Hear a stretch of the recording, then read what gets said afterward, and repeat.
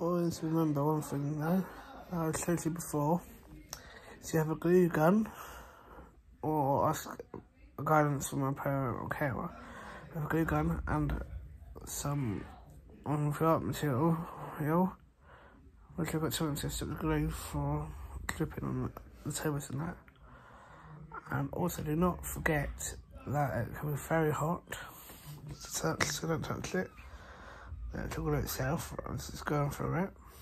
Okay, the glue gun. First, you're making that model, be careful not to touch the glue on the model that you're making because it'll hurt like hell. So that's why I've got to be very, very careful on what you touch.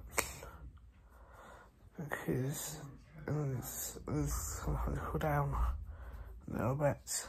Like when the stuff I created in that plastic Sushi box.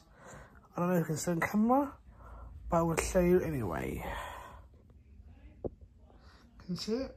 Oh, you can see probably an up piece poking out of that thing. There's more in there, but you can see one piece in there anyway. I've created, so there we have it. So Voila. Done and dusted.